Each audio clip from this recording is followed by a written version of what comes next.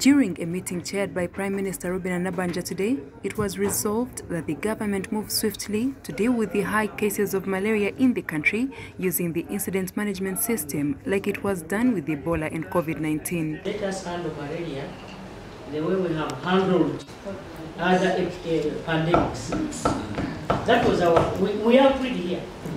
That's why we are bringing you on board the LC5, the others, and that's why you have reactivated their district uh, task forces to now focus after uh, Ebola, after uh, COVID, let us now refocus all our minds to malaria.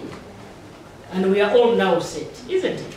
The Ministry of Health has also decided and in consultation with Office of the Prime Minister that for malaria epidemics we adopt the incident management system. The advantage of the incident management system is quick decision making, quick deployment of resources and utilization of rapid response teams this follows worrying malaria cases statistics from over 10 districts in eastern Uganda, such as Butebo, Kibuku, Namutumba, Buyende, and Butaleja. Lango, Kigezi, and Bunyoro are also heavily affected. Nabbanja said the most affected areas, particularly eastern Uganda, should be given mosquito nets as a stopgap measure. The Ministry of Health will arrange a comprehensive program for indoor residual spraying. For us, we don't have those many bureaucracies of yours. For us, we one Ghana. Now, the trucks move and save our lives. So those 10 districts. In some areas, it was it, like Buked.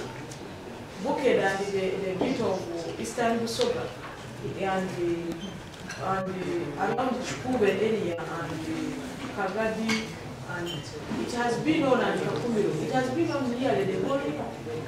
Literally from beginning of mid last year. Jennifer Namuyangu, the woman member of parliament for Kibuku district, says people there are dying due to malaria and urgent action is needed. We have buried people. We were, you were here, you gave a directive to commissioner of people Today still talks about still mobilizing logistics when people are burying their children. For me, I see ourselves as not considering malaria to be an issue. And today when I heard scientists speaking like lawyers, everybody with their opinions, my heart has even sunk, sunk more.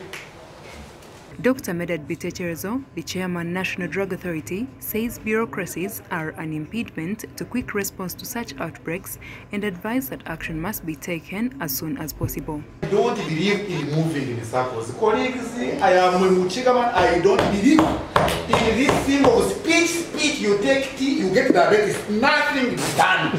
Why can't we get money now? And we just get money. This country, we are a big country and we get some small little bit of money. NMS now pushes the thing, the, the mosquito nets, that thing, and up you go. You have the money from donors. Why don't we get this money and you go and we spray Chibuku tomorrow? I don't know why really. Now the paper worker one day, we tell you that And another mana prayers, then meeting, then they take tea. People are dying. you, why don't you command? Command these people to release money from the finance tonight. The most affected districts have been the eastern parts of Busoga, and Bukedi region. But also Lango is affected parts of Acholi and parts of Kigezi and some areas in, uh, in Toro.